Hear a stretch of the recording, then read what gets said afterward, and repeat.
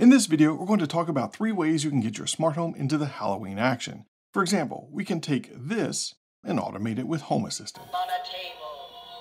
No programming or soldering needed. So stick around, because you're probably going to want to automate some spooky stuff.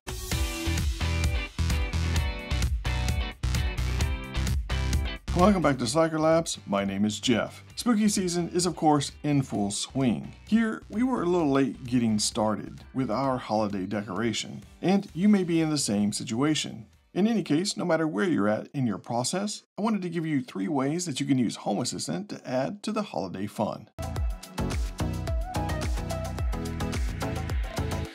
I did a video on this one before, and I'll leave a link to it in the description because it is one of my favorite automations. Every Halloween evening, an automation kicks off a script that simply turns my house into a haunted house, and it's really easy to set up. All you need is some connected media players around your house. We have one in almost every room now, and then this script simply plays random sound effects in random rooms. If you want to see the finer details on how I set that up, check out that video. You definitely don't have to get as crazy as I did.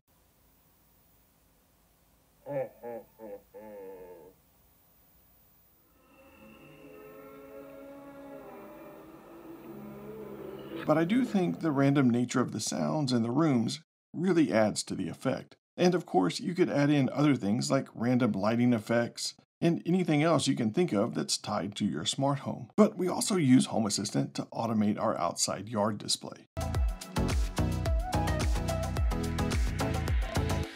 We love setting up our yard for Halloween, and while we didn't get as much done this year as we had planned, I was able to make some modifications, like this red glowing skull, and I think the updated embers under their cauldron look amazing. And of course, automating all of this is a must. When it comes to outdoor smart plugs, I haven't been impressed with very many of them. These Kasa TP-Link Wi-Fi ones work pretty well, and the Meross one works pretty good as well, although for some reason I can't find mine this year. But I recently added a Lutron outdoor plug, and this thing might be my new favorite. This video is not sponsored by Lutron. I just like their stuff, and it works well with Home Assistant. So when I needed another outdoor plug, I grabbed a Lutron one. And I was impressed as soon as I opened the box. This plug feels like it was built to be outside compared to some of the other ones that are mostly plastic feeling. Adding it to the Lutron app is easy, and if you have Lutron integrated with Home Assistant, the device just shows up when you reload the integration.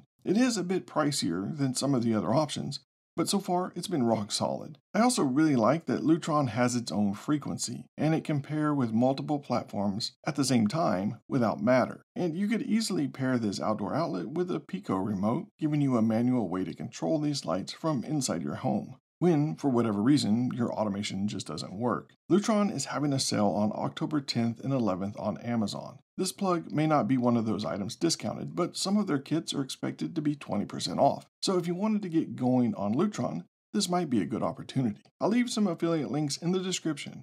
Make sure you check them out. Now to one of my favorite additions I made last year. We are big fans of Disney's Haunted Mansion. Well, Halloween in general. But last year, we picked up some Haunted Mansion themed stuff on one of our various runs to get home decor. We can't be the only ones that leave Halloween stuff out all year, right? Anyway, the problem I have with most of this stuff is it's typically motion based, and that can get annoying really fast. I wanted to automate it, and I didn't want to have to mess with electronics or programming. Although someone out there has probably already dropped an ESP32 in one of these and got them connected that way. But these things usually have these little buttons for testing them in the store. And you know what? SwitchBot makes the perfect little device for pushing buttons. Unless we're talking about my wife, and then I'm the perfect device for pushing her buttons. but that's a topic for a different video. SwitchBot isn't sponsoring this video either, but their SwitchBot bot was the first thing that came to mind when I was trying to find a slacker way to automate these things. First thing you'll need is to get the SwitchBot into Home Assistant, and being that it's Bluetooth, as long as you have the Bluetooth integration going, as soon as the bot is on, Home Assistant will give you the option to configure it. Once that's done, we just need it to start pushing buttons. I typically look for a place to mount the bot and the button where no one is going to see it. The SwitchBot comes with some adhesive that works well for this. For this skeleton seesaw, I just mounted it on the back, and then I used some 3M double-sided adhesive I had laying around to mount the button. And really, that's it. You can leave the motion sensor off, and leave this thing in testing mode if it has that option. And then when you turn the bot on in Home Assistant, there you go. And the good thing about these testing buttons is if you press it again, it will stop, which makes it super handy and will prevent it from getting annoying. Now, you can automate this to play during your haunted sound effects, or even as a random notification, or even just to kick it off and impress your friends when they come over, if you have people come over. More friends. I'll leave some links to the SwitchBot bots in the description. Anyway, that's it for this one. Just a quick one to give you some ideas on how to use Home Assistant to automate the spooky stuff. I did link to the automations mentioned in this video so you can grab them if you're interested. Again, Lutron and SwitchBot were not involved in the making of this video but they are two companies that I trust to automate my smart home. The links in the description are affiliate links, which help support Slacker Labs at no cost to you. That way I can keep showing you ways to automate the boring stuff.